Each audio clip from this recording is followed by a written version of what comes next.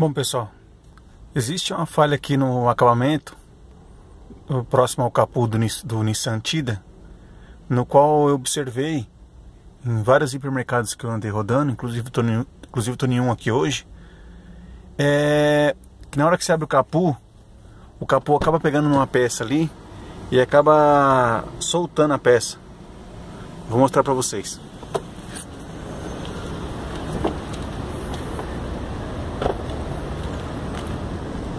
Essa peça aqui, ó.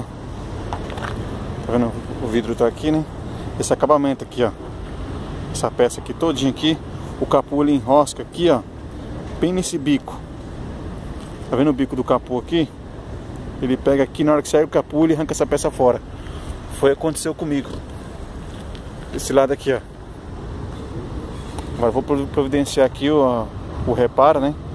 O que eu vou fazer aqui, se tem como colocar essa peça novamente, se eu vou precisar comprar outra. Enfim. E já tentei colocar com dupla face, não deu certo.